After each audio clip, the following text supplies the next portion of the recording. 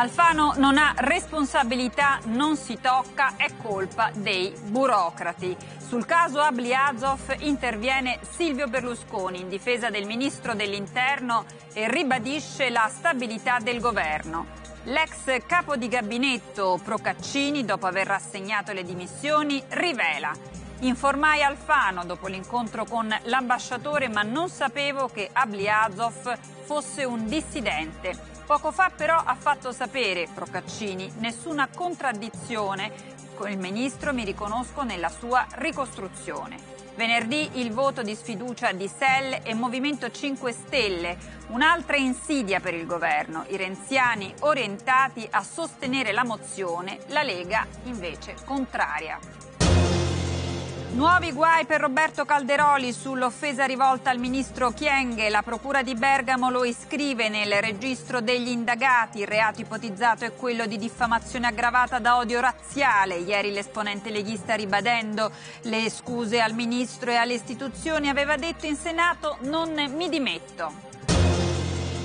Il caso Al-Bliazov si ripercuote sul Partito Democratico. Matteo Renzi chiede al Premier, impegnato in una 48 ore londinese, di riferire in Parlamento. Tra i due ci sarebbe stato uno scambio di sms e telefonate particolarmente tese.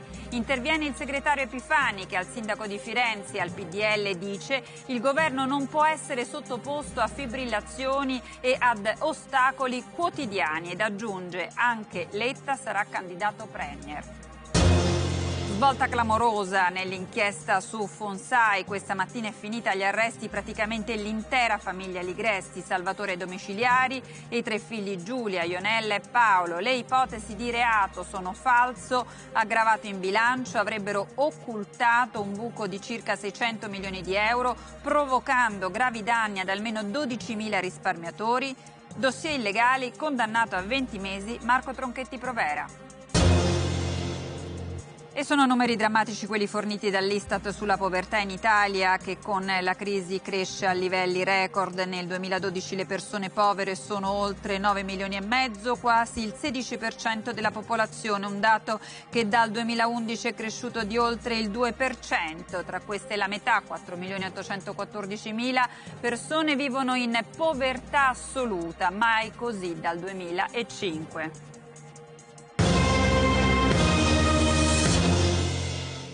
E buongiorno dal telegiornale della 7, benvenuti a questa edizione del telegiornale che vede in primo piano un passaggio politico molto delicato, così come quello della vicenda kazaka con il PDL che fa quadrato eh, intorno al ministro dell'interno Alfano ed il governo Letta eh, individuando, questa è la versione del PDL, in questa operazione una sorta di macchinazione per far cadere proprio il governo. Secondo Alfano un vero e proprio cortocircuito informativo attivo nelle, nei servizi preposti a diffondere informazioni avrebbe impedito che questa vicenda fosse portata alla conoscenza dei vertici dell'esecutivo.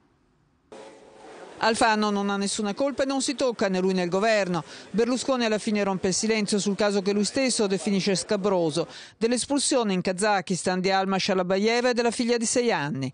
Non vedo nulla che possa provocare una crisi, dice l'ex premier in un colloquio con il Corriere della Sera. Con tutti i problemi che ha il paese, sottolinea, sarebbe da irresponsabili far saltare Alfano per far saltare il governo. Berlusconi smentisce così le voci che lo volevano pronto a mollare il suo delfino, poco amato dentro il PDL, criticatissimo per il triplo incarico di segretario del partito, ministro dell'interno e vice premier.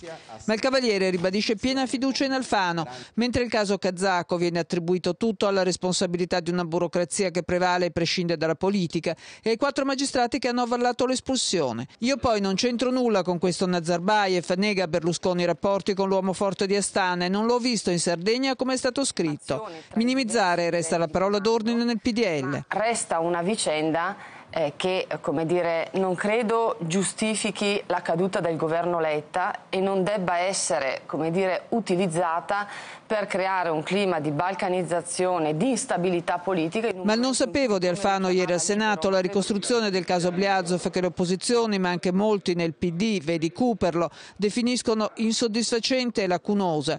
Non basta calmare le acque. Venerdì il voto sulle mozioni di sfiducia di SL 5 Stelle. Forse parlerà Letta, come chiedono gran voce fuori ma anche dentro la maggioranza. La Lega si sfila per ragioni evidentemente di alleanza politica con il PDL nelle regioni del nord. Maroni, che aveva attaccato Alfano, ci ripensa, non voteremo la sfiducia, la sua versione ci ha convinti, annuncia. Ma i malumori invece nel Partito Democratico sono sempre più forti. I renziani sono tentati dal voto contro Alfano e potrebbero chiedere al gruppo PD di sostenere la richiesta. La riunione dei senatori è slittata domani in contemporanea con la riunione dei deputati. Su questa vicenda il partito non regge, dicono in molti. Si parla di pressioni forti per convincere Alfano a lasciare, a dimettersi dal Viminale, restando magari vice premier. A questo scopo si cercano sponde anche con il Quirinale. Difficile però salvare capre e cavoli, perché se cade Alfano, ripete per ora Berlusconi, cade il governo. Mi dimetto per il bene dell'amministrazione, sono un uomo dello Stato. Queste sono le parole di Giuseppe Procaccini, l'ex capo di gabinetto, mentre appare anche sulla stampa estera come una eh, sorta di caprio espiatorio della vicenda kazaka. Delle richieste dei kazaki informai subito il ministro, lascio per senso del dovere, per rispetto del mio ruolo e dello Stato. Il prefetto Giuseppe Procaccini, capo di gabinetto del Viminale, si è dimesso, ma le sue parole, riportate da alcuni quotidiani, rischiano di creare più di qualche imbarazzo all'esecutivo. Il giorno dopo la informativa in Parlamento del ministro Alfano e la sua ricostruzione dei fatti sulla vicenda kazaka. Dopo tanti anni di carriera vado via, ma sono stato ingiustamente offeso, ha scritto Procaccini nella lettera di dimissioni consegnata nelle mani del ministro poche ore prima che il capo della polizia Panza trasmettesse la sua relazione sull'espulsione di Alma Shalabayeva. Ho ricevuto l'ambasciatore kazako al Viminale perché me lo chiese il ministro, spiegandomi che era una cosa delicata, avrebbe detto Procaccini. In una intervista pubblicata oggi su Repubblica precisa il 29 maggio informai verbalmente il ministro che la diplomazia del Kazakistan aveva chiesto l'arresto di un pericoloso latitante, Mukhtar Ablyazov. Una versione dei fatti che almeno su questo punto sembrerebbe contraddire quella che Alfano ha fornito in Parlamento sulla scorta della relazione del capo della polizia Panza. Poco fa Procaccini ha detto nessuna contraddizione con il ministro Alfano, mi riconosco nella sua veritiera ricostruzione. Nelle conclusioni del documento di Panza è scritto il Dipartimento della Pubblica Sicurezza non ha seguito in tutte le sue fasi il processo stimolato dalle autorità diplomatiche kazake che avrebbero voluto investirne direttamente il ministro, ma che erano riuscite a raggiungere solo il suo capo di gabinetto. Il passaggio avvalora la tesi che Alfano non fosse mai stato contattato, nemmeno nella fase iniziale. Lo stesso Procaccini aggiunge non sapevo che Abliazov fosse un dissidente politico e dopo l'esito negativo del blitz a Casalpalocco nessuno, nemmeno il capo della segreteria Valeri, incaricato di seguire la vicenda, mi parlò dell'espulsione di Alma Shalabayeva e della figlia una pratica gestita dall'ufficio immigrazione. Dell'esito della vicenda, conclude Procaccini, appresi solo dai giornali. Comunque sia andata, una cosa è certa, nei corridoi del Viminale e nelle stanze del Dipartimento di Pubblica Sicurezza si respira un clima di tensione e disagio le dimissioni di Procaccini, l'avvicendamento di Valeri e gli altri provvedimenti di riorganizzazione chiesti da Alfano e affidati al capo della polizia Panza sono visti da più parti come il sacrificio di capri espiatori in nome della ragione di Stato. A rischio ci sono le carriere di dirigenti e funzionari che negli ultimi anni hanno conquistato posizioni di grande rilievo nei posti chiave del Dipartimento. E finisce in tribunale il caso delle offese di Calderoli rivolte al ministro Chieng. Il vicepresidente del Senato leghista è indagato. È indagato per violazione della legge Mancino sulla discriminazione razziale e sulla vicenda poi ancora scontro aperto tra Maroni e Letta. Dopo lo scandalo politico, il caso dell'insulto razzista di Calderoli alla Chieng diventa un affare giudiziario. Il vicepresidente leghista del Senato è sotto inchiesta per il paragone del ministro congolese con un orango. È stato iscritto stamattina nel registro degli indagati della Procura di Bergamo. Il reato ipotizzato è diffamazione aggravata dall'odio razziale. Il fascicolo è stato assegnato a due pubblici ministeri, Rota e Dettori. Calderoli rischia fino a quattro anni e mezzo di carcere. I magistrati procedono d'ufficio senza querela di parte. La Chienghe non ha mai denunciato il parlamentare del Carroccio. Ieri per tutto il giorno la Procura ha studiato la relazione del commissariato di Treviglio e l'esposto del Codacons sul comizio di sabato sera con l'offesa di Calderoli. Oggi l'iscrizione. Calderoli ieri mattina si è pubblicamente scusato in Senato con la Chienghe. Ha spiegato ai colleghi che le sue dichiarazioni non avevano un intento razziale né razzista. Ha respinto la richiesta di dimissioni. Ha detto che lo avrebbe fatto solo se glielo avesse chiesto il partito. La Lega lo ha difeso e sulla vicenda è scoppiato un caso politico fra il segretario del Carroccio Maroni e il primo ministro Letta. Il Premier ha spiegato che l'incidente non è chiuso e che se Calderoli resterà al suo posto il governatore leghista sarà correo dell'offesa alla Chienghe. Maroni Maroni stamattina a Varese ha replicato. Non diciamo stupidaggini, per me la questione è chiusa e Letta farebbe meglio a occuparsi di altre cose.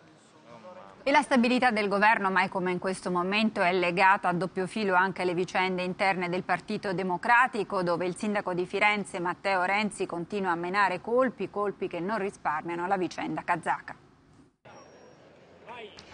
L'attivismo di Matteo Renzi comincia a spazientire Palazzo Chigi anche se dallo staff del Premier Enrico Letta impegnato nella due giorni londinese stamani non confermano né smentiscono i retroscena di giornata che parlano addirittura di un litigio telefonico tra il Presidente del Consiglio e il Sindaco di Firenze. Sembra che a far saltare i nervi al capo del governo sia stata l'ultima sortita dell'ex rottamatore che a proposito della controversa vicenda kazaka ha detto di aspettarsi chiarezza direttamente da Letta. Ci metta la faccia e vada in aula a dire se davvero il ministro Alfano lo ha convinto o no il ragionamento fatto dal sindaco fiorentino. Parole che suonano alle orecchie del Premier quasi come una dichiarazione di guerra, un fuoco amico insostenibile per la stabilità già precaria dell'esecutivo di larghe intese. La tenuta del governo mai come in questo momento sembra legata a doppio filo con la sfida congressuale d'autunno, tutta interna ai democratici. Un intreccio perverso, secondo alcuni esponenti del partito. Ai piani alti del Nazareno monta l'insofferenza nei nei confronti dell'ex rottamatore,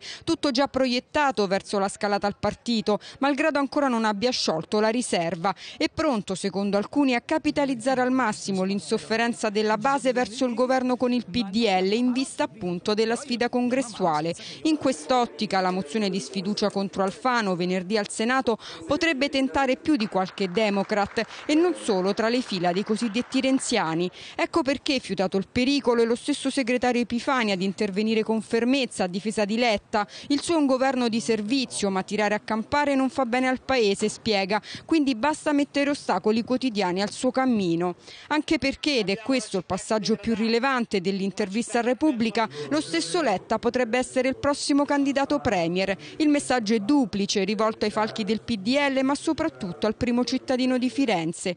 Pippo Civati, anche lui in corsa per la segreteria PD, stamani ad Omnibus lo dice chiaramente. Il vero problema problema il duello tra Letta e Renzi, futuri competitor per la Premiership. Non è un mistero del resto che i maggioranti del PD remino contro il sindaco di Firenze. La battaglia si gioca sul terreno minato delle regole. Domani torna a riunirsi il comitato per il congresso che dovrebbe concludere il lavoro istruttorio con le soluzioni che saranno poi messe ai voti nella direzione nazionale del prossimo 31 luglio. Il bersagnano Davide Zoggia, responsabile dell'organizzazione, insiste sulla cancellazione dell'automatismo tra segretari segretario e candidato premier. Protestano gli uomini vicini a Renzi. Epifani intanto conferma che lo statuto verrà cambiato a settembre e che il percorso si completerà entro l'anno. Non sfugge ai più che questa appare una frenata più che un'accelerazione.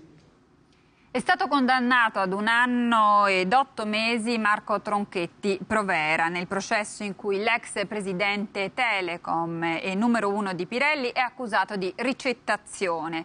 Eh, vicenda che rientra nel più corposo capitolo dei dossier illeciti della security di Giuliano Tavaroli. Un anno e otto mesi di reclusione, la pena sospesa e 900.000 euro di risarcimento a Telecom Italia. Con questa sentenza la settima sezione penale del Tribunale di Milano accoglie le tesi dell'accusa nei confronti di Marco Tronchetti Provera, l'ex presidente del gruppo Telecom accusato di ricettazione nella vicenda dei dossier illeciti. Il pubblico ministero Alfredo Robledo aveva chiesto due anni e una multa di 5.000 euro. 6 milioni di euro invece il risarcimento chiesto da Telecom Italia che si era costituita parte civile per i danni agli dell'immagine provocati dal suo ex presidente.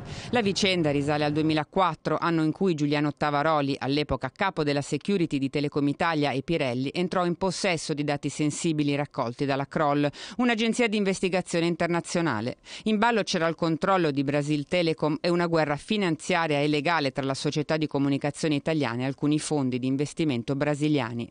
Secondo l'accusa, Marco Tronchetti Provera era a conoscenza dell'origine illegale di quelle informazioni. Tavaroli aveva raccontato agli inquirenti di una riunione con lui e due avvocati dell'ufficio legale in cui si parlò anche dei dati acquisiti illegalmente contenuti in un CD.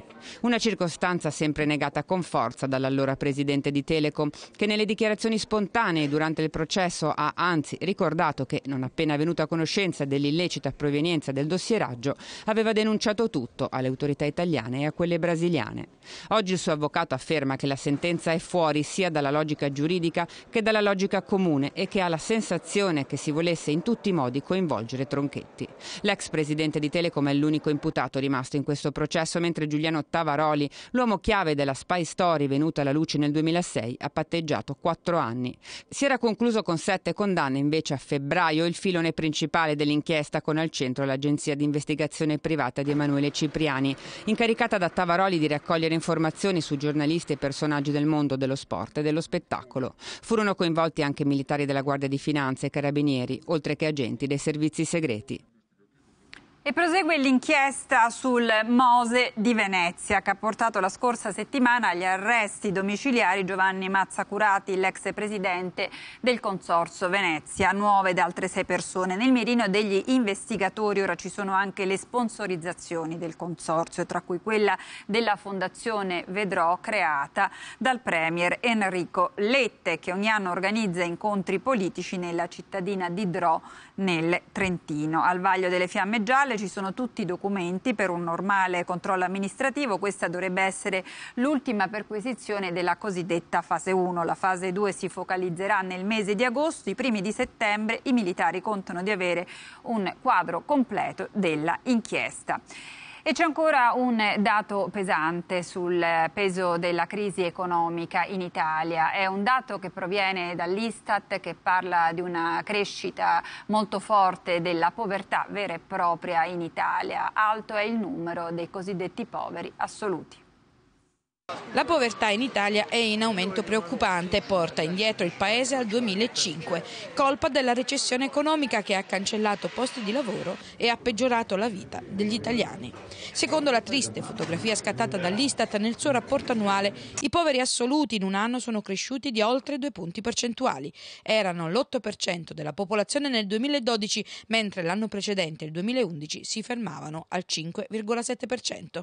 Un fenomeno in crescita dunque che deve deve far riflettere perché passando dalle percentuali ai numeri reali, gli italiani che vivono in assoluta povertà perché non riescono a sbarcare il lunario acquistando beni e servizi essenziali per la sopravvivenza sono 4 milioni 814 mila, di cui circa la metà, oltre 2 milioni, risiede nel mezzogiorno.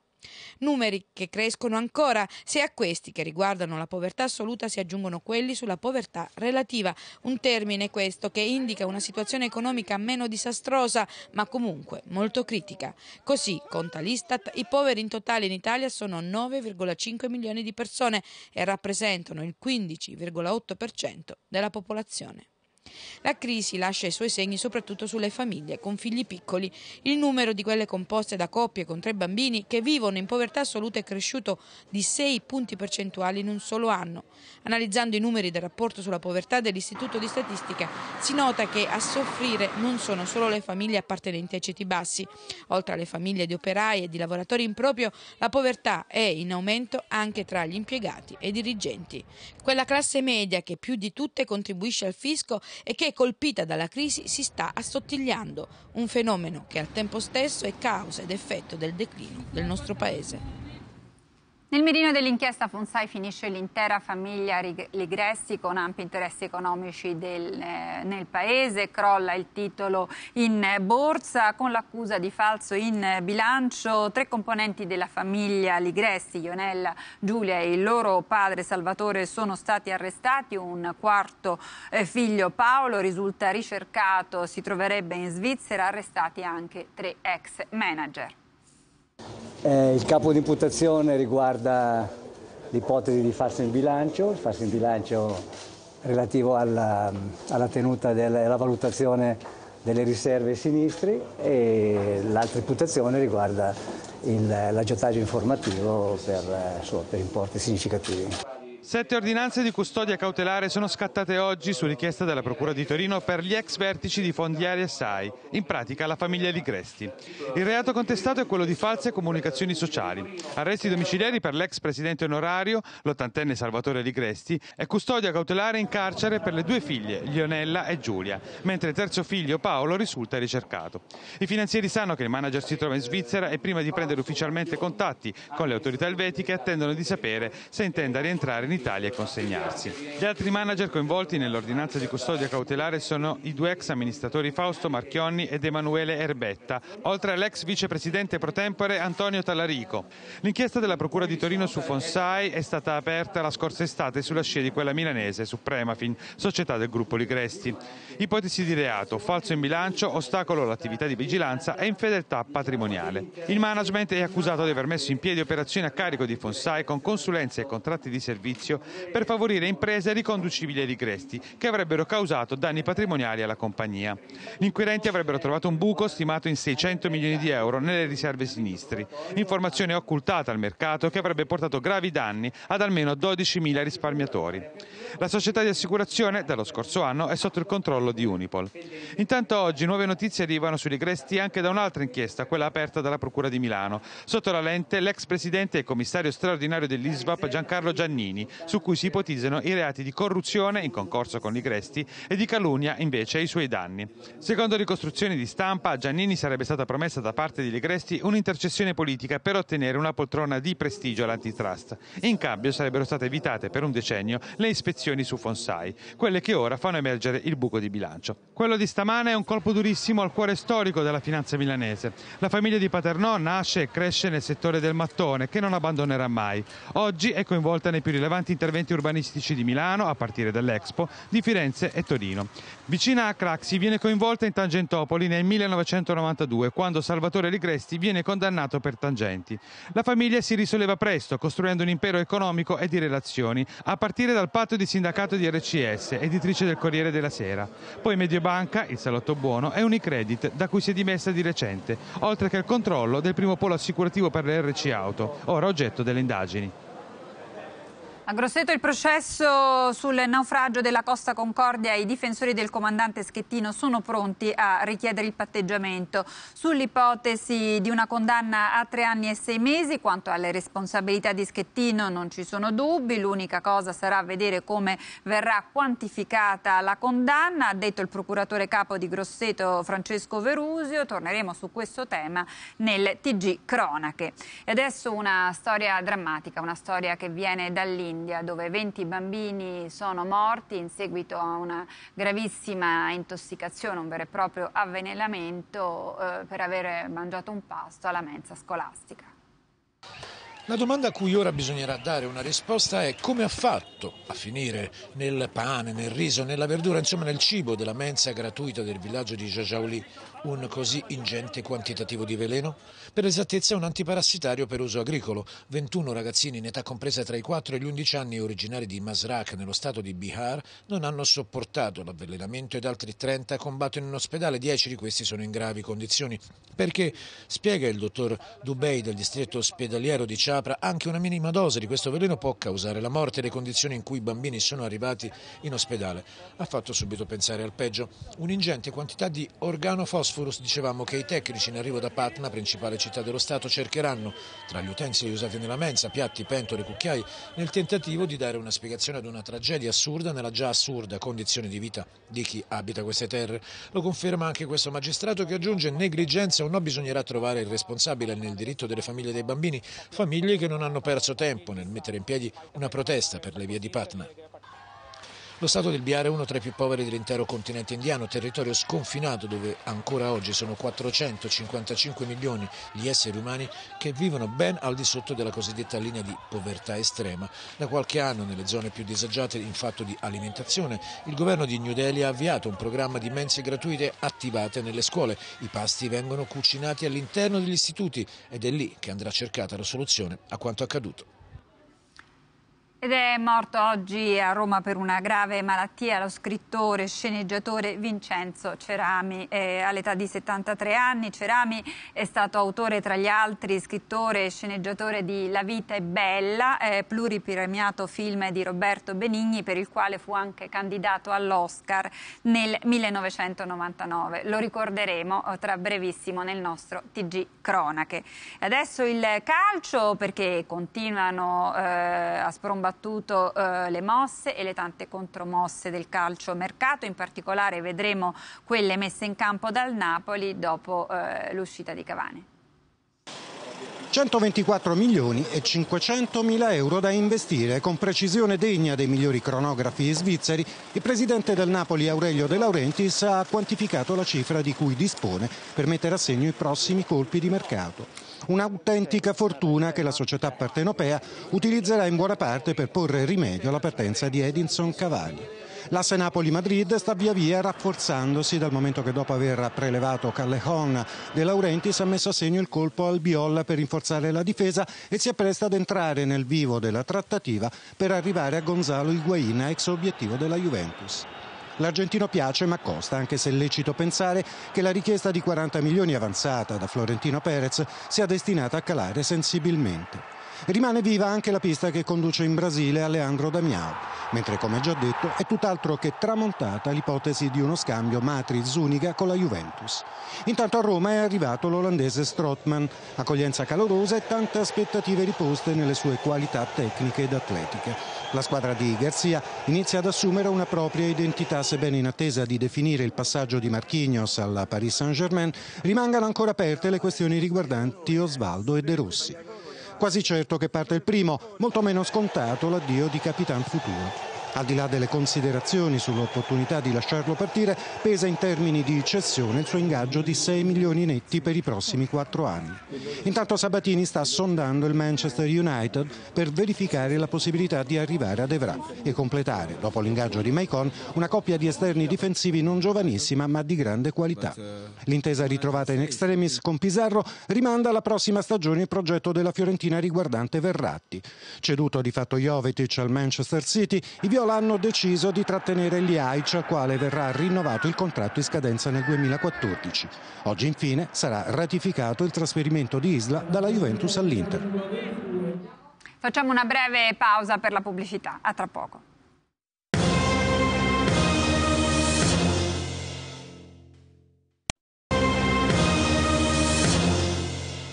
Ben ritrovati in diretta, linea subito al TG Cronache a Raffaella Di Rosa, in sovrimpressione il nostro indirizzo internet. Io vi ringrazio per la vostra attenzione e vi auguro buon proseguimento con i nostri programmi.